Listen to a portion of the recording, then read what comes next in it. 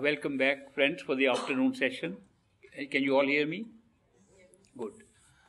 Uh, some people say, can you describe a little bit about what one can expect when we meditate? We can expect several things. We can expect that meditation is doing nothing to us, most common experience we can expect that uh, we can think of a lot of things which we were not thinking about when we were not meditating. Like we can remember where we lost our keys, where we placed the telephone. And very often we can go to sleep. They say meditation is a better sleeping pill than the pill you buy in the pharmacy. There's a reason for that. The reason is that we are awake in the physical body because our attention is operating from behind the eyes. When we are awake, we are behind the eyes. If we are just a notional point of life, supposing we are just a point of life which moves in the body, then that point of life that makes us aware is behind the eyes we open our eyes, we can see. If we are not behind the eyes, if we open our eyes, we won't see. And that happens. It happens to us. It happens every night when we go to sleep. When we go to sleep, you can have some of your eyes open. Not completely, halfway. Most people don't completely close their eyes when they sleep. A little bit is open. And what is happening in front becomes part of your dream sequence. Supposing you are sleeping and somebody passes in front of you, in the dream, that person or somebody like that person will also move. So you're connecting what you are seeing and what you are dreaming, but you are not seeing what is passing in front of you, you're seeing the dream. Why is that? Because that notional point of life is not behind the eyes, but has gone down to the throat. Supposing you were a very masterful yogi and had done yogic practices by which you could remain semi alert, semi alert when you are sleeping and dreaming, and you want to touch your eyes when you're dreaming. With your hands, you will touch your throat and you will think you're touching your eyes, which shows that the notional point of your consciousness does not remain always there. It moves down when you go to sleep, it moves down to this throat when you're dreaming, it moves further down, little bit further down, when you are feeling you are not dreaming, dreaming at all, or in the gaps between the dreams and the sleep state. So this movement also is being used by the yogis to bring the attention by concentrating on the lower chakras. The six chakra yogic practices are all based upon moving your point of attention down there, having different experiences from there. And they relate to a created body, which is not this body. Dream body is a created body. When you make a body from heart chakra or lower chakras, kundalini, reversal chakras, when you do those things, the point of uh, your conscious awareness, where you are operating from, shifts in the physical body. So that is why the tendency to sleep is very strong because we are doing meditation every night when we go to sleep by becoming unaware of our body and becoming aware of something else. So that is why the practice of vacating your body is a constant practice everybody is doing. That's why tendency to go down is very strong and we go to sleep. Very strong tendency. I remember great master's master. Great master Baba Sawan Singh, his master was Baba Jaimal Singh. And Baba Jaimal Singh used to tell his disciples, be very careful. If you meditate, you'll go to sleep. In fact, in the little place in his small hut in Gurdaspur district in Punjab, India, where he used to meditate a lot, he had made a hook on top of the ceiling and he had tied his hair with a little rope. So when he would sleep, it got pulled down. I'm talking of a perfect living master. So the tendency to sleep is very strong. I was once conducting a meeting in Bruce, Wisconsin, many years ago. And I was telling people to meditate and close your eyes, do this. After a while, I could hear my own snoring. so I said, Did I really snore? I opened my eyes, everybody was staring at me. but I turned it around to say, I'm giving you an example of how I. Just made a, made a good excuse, not a very good excuse. So, this is, I am telling you what to expect. For a long time, this thing can go on. People sometimes get disappointed. They get disappointed that nothing is happening in meditation. It's all dark. What can we do? So, actually, the experiences start much later. You can induce some experiences by lot of long meditation. I once thought meditation is the only cure for our ignorance, and I was very young. Actually, I was a college student. I meditated so much, eight hours at a stretch. Now I don't recommend to anybody to do eight hours. I got nothing by eight hours. So I found that it is not the time spent on meditation. It is the intensity of longing you have for the beloved that makes a difference. It's a very different thing. The actual experience of spiritual experiences takes place when you are longing for the beloved, longing for your master, longing for God in human form. is so strong that that's all you want. And that pulls your attention rapidly from the body and takes you to the image of the master, and then you find who master is.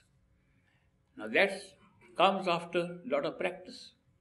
It comes when you are using all possible means of expressing your love and devotion for the Master. Meditation without love and devotion is very hollow. I have shared with you before the story of my friend Hira Singh from Ludhiana in Punjab. He was initiated by Great Master. About the same time I was initiated. And he meditated very regularly. Not like me, sometimes lot of meditation, no meditation, questioning everything. I was different. He was very dedicated satsangi. So he followed the rules and he meditated two and a half hours every day. Maintained a very strict vegetarian diet according to the instructions given to him. And it is after 40 years of our initiation that I met him. I met him because he had a little factory in Ludhiana, in the town where we lived, where I also got educated for a while and worked for a while. So he did his good meditation regularly, but for 40 years he had no experience insight. He said, I must be very unlucky, my karma must be very heavy, that I can't see anything. Maybe I'm not designed to have anything. Maybe my system is not working. Maybe I am I'm going to wait for next four lives. Whatever he had heard from people thinking like that.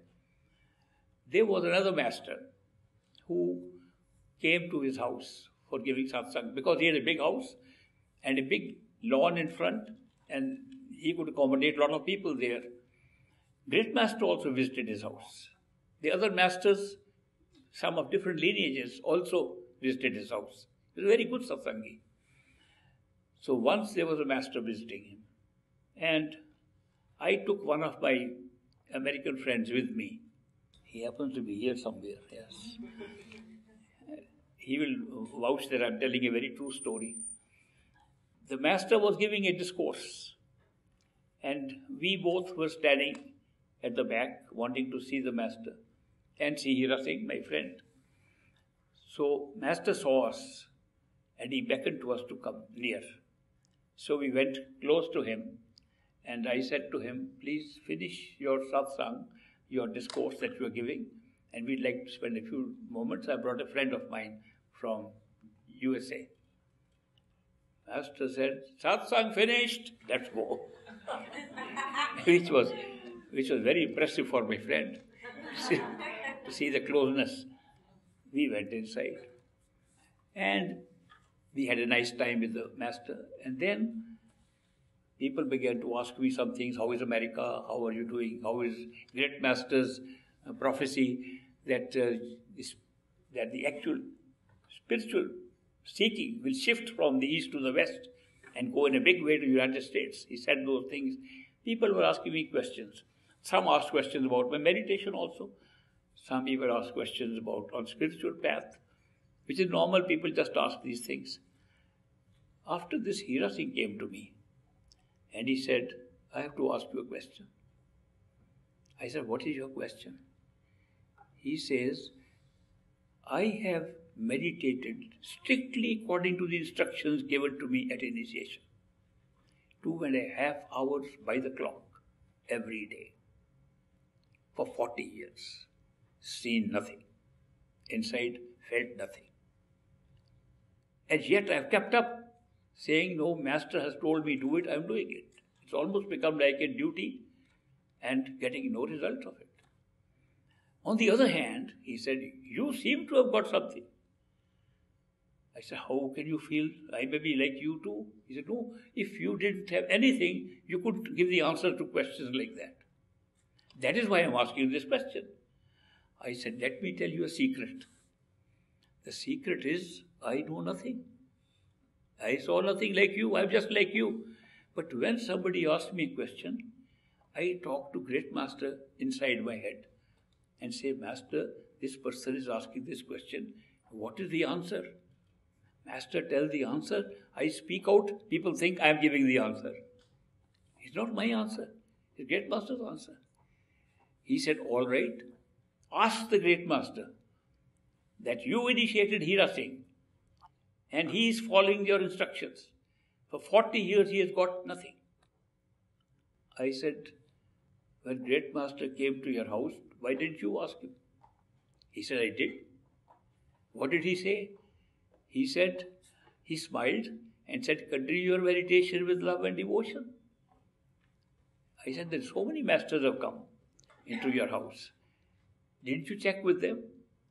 Instead of checking with a guy who's not a master? He said, I checked with the masters. What did they say? They smiled and said, Continue your meditation with love and devotion. I am going on doing it. Now I'm asking you. I said, I told you the secret. I'll have to refer your question to my master. And when he gives the answer, I'll give it to you. He's all right. Go sit inside and talk to your master and give me the answer. I said, Master is not so easily accessible. It takes time to make an appointment and to get an answer. He said, How long does it take? I said, About six months. I, because I was to come back to America and go back next time and after six months. He said, All right, I'll wait. So I went back to United from United States to India after six months, went to Ludhiana, met Hira Singh. I said, Got the answer for you. What is the answer? I said, Great Master said, tell Hira Singh, continue to do your meditation with love and devotion. the very answer all the masters gave, the very answer the great master gave first time that you asked. He said, then why have I not made any progress? I said, you missed out the last few words of the answer. You thought he's saying continue your meditation. You did not notice every one of them said, continue your meditation with love and devotion. Secret. Meditation without love and devotion is hollow. It's a mechanical exercise of the body, it does nothing. In fact, it increases your ego. I am doing two and a half hours. I am doing so much meditation. The I becomes strong, becomes a bigger obstacle in spiritual path. That is why never forget the secret is love and devotion. We start with repetition of words. We call Simran, mantra, repetition. Very good to control the mind to some extent. Not too much, but some extent. If sound comes inside, we say, hear the sound, we hear the sound. All mechanical things. not spiritual. What is spiritual about repeating words, physical words? What's spiritual about hearing sounds? Not spiritual at all. It's all physical, mental. Then the master appears, and we are not sure if he is the master. Maybe the mind is making it up. The image comes, disappears, comes and goes away, and we don't know whether to uh, accept it or not. If we are initiated by a perfect master, he gives us a device to check if the mind is making up his image or he is really there. The device is very simple. That the words he asks us to repeat during meditation, he empowers them so that a negative entity, including the mind, cannot make up his image, cannot make up his eyes and his forehead. The rest of the face can be made up by the mind, but not the eyes and the forehead of a master. It's a good device. It's just, a, again, a mechanical device so that we can check if the master is there. When the master comes and goes, we have heard radiant form of master will come. I'm waiting for the radiant form of the master. The master is appearing. He's not radiant enough. So we don't talk to him. We're waiting for a radiant master. We have our own impression what a radiant master means. We think radiant means there's light flowing out of him. And some pictures I've seen people drawing.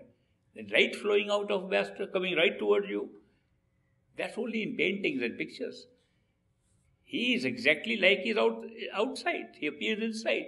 Why we call him radiant form master is he can be seen in utter darkness. You can close your eyes, cover them up, cover double cover them up, you can still see him clearly. That's the radiance part. But you are also radiant at that time. Objects are also radiant at that time. We meditate, we can see so many things. So the radiant only means that he is visible in darkness.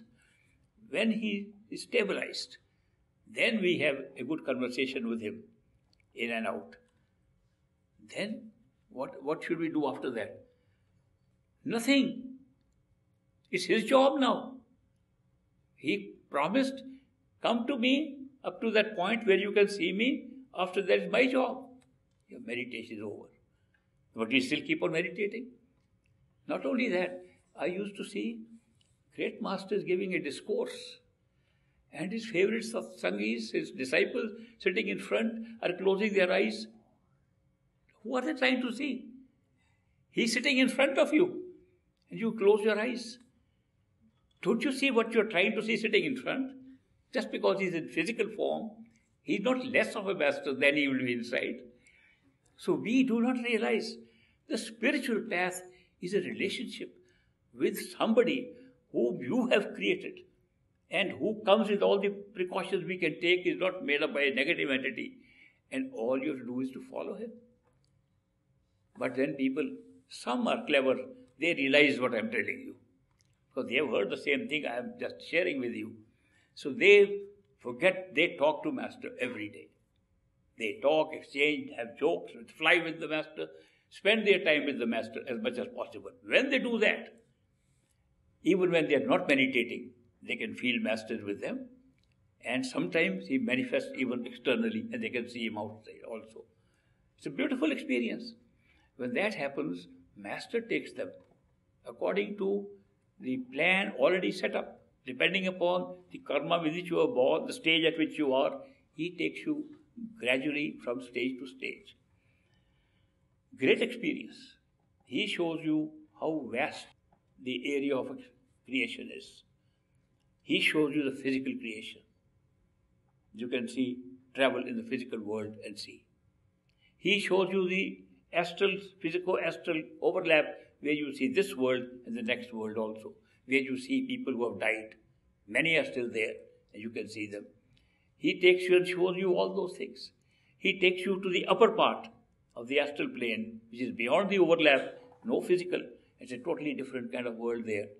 And you see, this physical world is divided, most divided place in the whole of creation. It divided into countries, states, and it is administered run, the system on this, on this physical plane are run by governments, run by different governments in small, small, small portions, which we call countries, and nations. Astral plane is not run like that. It's run by one government. It's a very big difference. It is vaster than this physical plane, yet it's only ruled by one. And there you find that the master can even show you the ruler of that astral plane. That's in the higher part of the astral plane. When you see that, most amazing experience takes place when the ruler of the whole astral plane comes and puts his head on your master's feet as you are watching him. You can't believe what's happening. Because he's, he's a king of that place, he's a ruler. He decrees how the whole astral plane has to run. And yet, he's feeling so, so happy to see the master. So you get surprised. First time it happens, you get very surprised. That what is happening? And the master explains to you, look, these people know because they have stayed here for a long time. They know this is not their home. They are also souls like us. This ruler of the whole universe, he is the creator of the physical plane and the astral plane sitting here. And he does not have the chance to have the trip which you and I are making. This is karma. He is here at this high level because of his karma in a human body. Karma committed in the human body brought him to this place. He can't go anywhere from here except he'll have to go back. He's willing to go back to a human life to go further up, although he's already further up. Very strange experiences. So, some experiences in the beginning are different for different people. But above that, when the master takes you, the experience is very similar. Some skip the experience. Some don't want to see all this. And the master skips that. Some say, We are not interested in anything mental, any of these words, astral, physical. We don't want to see anything. We just want to go to a true home. The master can go with blinders of those people, those souls, and take them back. It's a long story. I could keep on sitting and telling you the entire journey. It's so remarkable. You can expect that. But the beginning will be like I indicated in the beginning. That is how we start experiencing.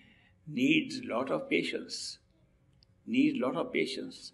But the earlier you start your meditation with love and devotion, the better it is. Otherwise, it will be like Hira Singh.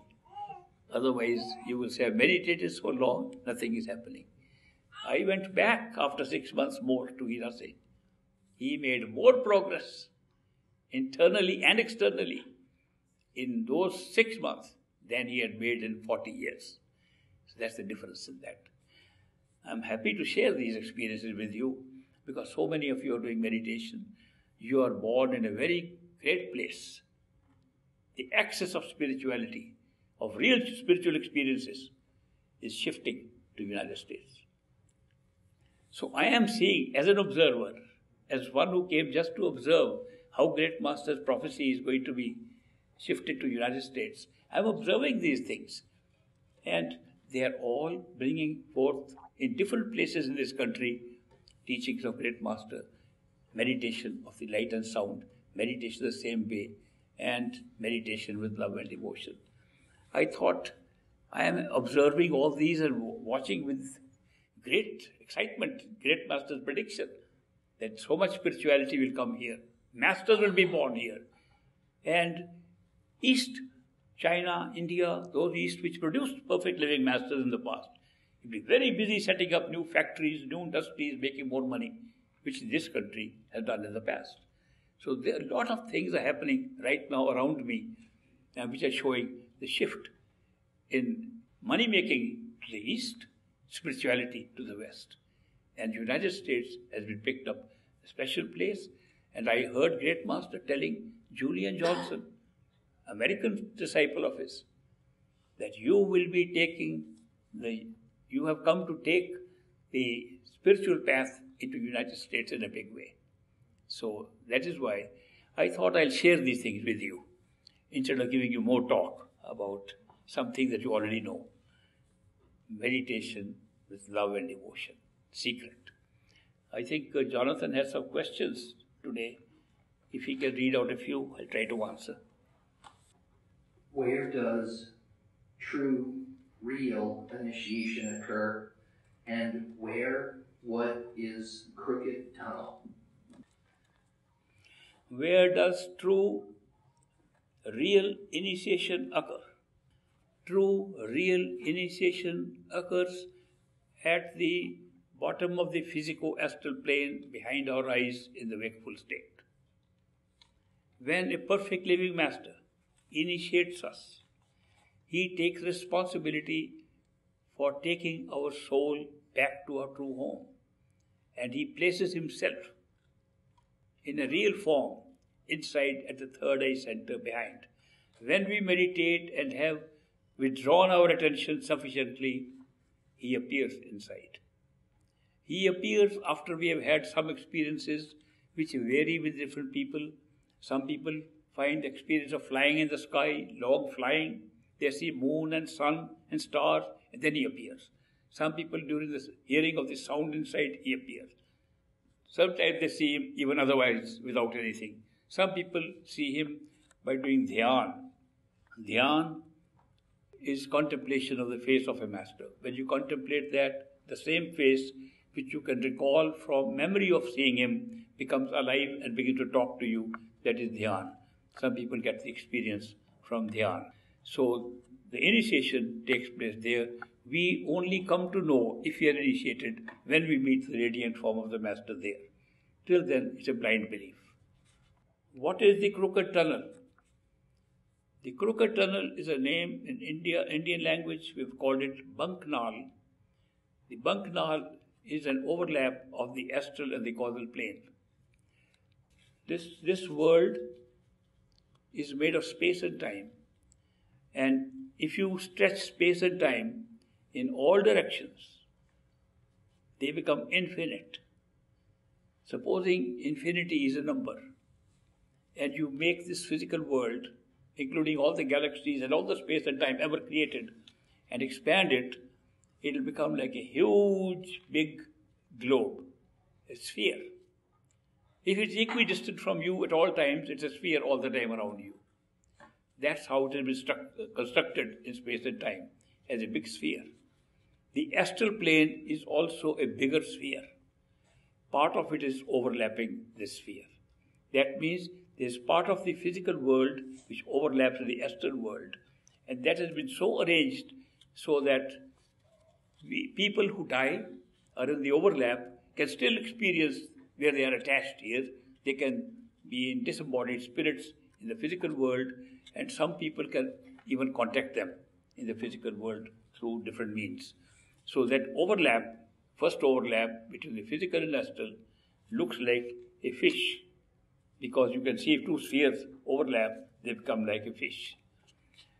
The second overlap is in the, cause, in the astral and causal plane. It's a bigger overlap, but that overlap is in a tilted position. These are space-time things. They're tilted position. So in the middle of that second overlap, it looks like we are in a tunnel. If you are in the center of the tunnel, you can see the astral plane, and the other way, you see the uh, causal plane. That's the only point from where we can see both astral and causal planes and have experiences of both in that overlap. That point has been called the Banknal or the crooked tunnel. Crooked tunnel because it turns, unless you are there, you can't see both. When you are there, you can see both. That's why it's been called the crooked tunnel. That also looks like a big fish. When people read in the Bible that Jesus Christ served two fish to 50,000 people or 5,000 people, people think they might have caught fish from the pond and might have broken small pieces. That's not true at all. He is referring to these two fish. He is giving spiritual knowledge of what you can expect inside. That the two fish are looking like fish, and they are the overlaps of physical astral and astral causal.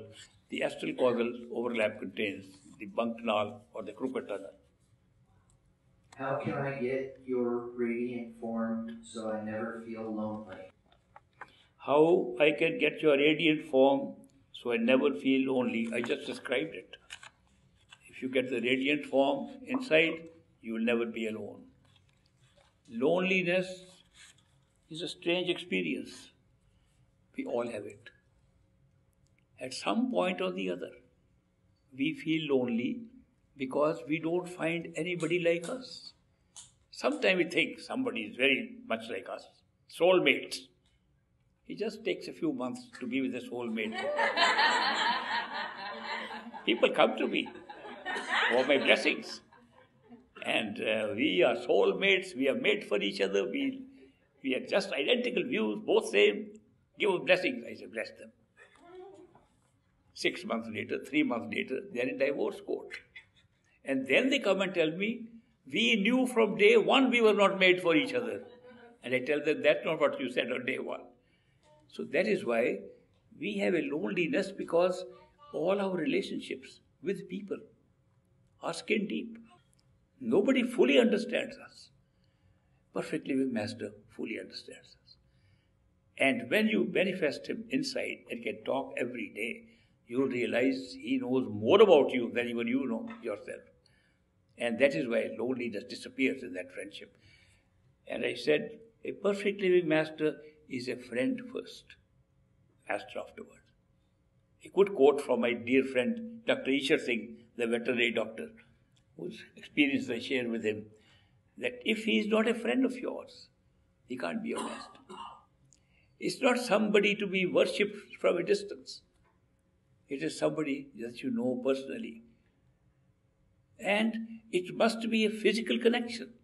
It must be physically known to you. You can't have that connection with past masters or those who are far away or you have never seen. That's not possible. That's not the spiritual path. Certainly not what great master shared with me and I found it useful. Sheikh Farid of Shakarganji, Sheikh Farid Shakarganji was a perfect master. His own master was Sheikh Qutbuddin. When Sheikh Qutbuddin was alive, Farid told his son, Go and get initiated. It's a great opportunity. A perfect living master is in our presence. And he has blessed me with initiation. You get initiated. And the son, like many of our young people, said, I have plenty of time to do that. Let me enjoy life now. This is not for young people, it's for old people. That kind of argument, and he avoided. One day, Qutbuddin died. His body was lying before they buried him.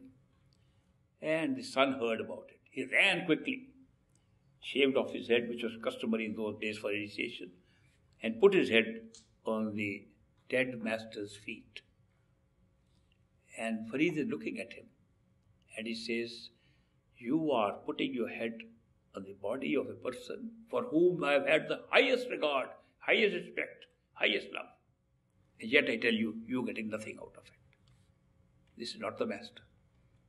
And then he explained, unless a living human being, a living master, can hold your hand, you cannot say that you got anything from a master. It's not a distant relationship.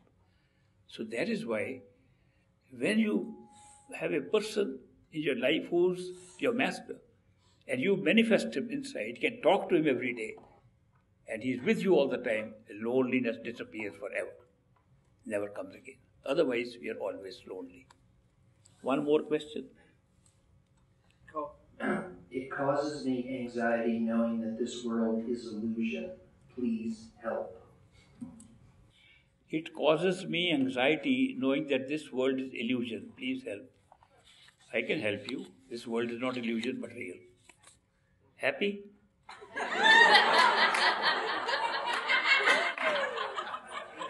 it is real. Tell me, if it was not real, would I take the trouble of coming and talking to all of you? If it was all illusion, am I talking to some shadows or something?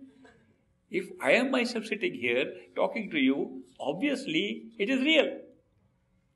The question really is what is real? What makes a thing real? What makes a thing real is your experience of its reality. And what is the experience which is actually real?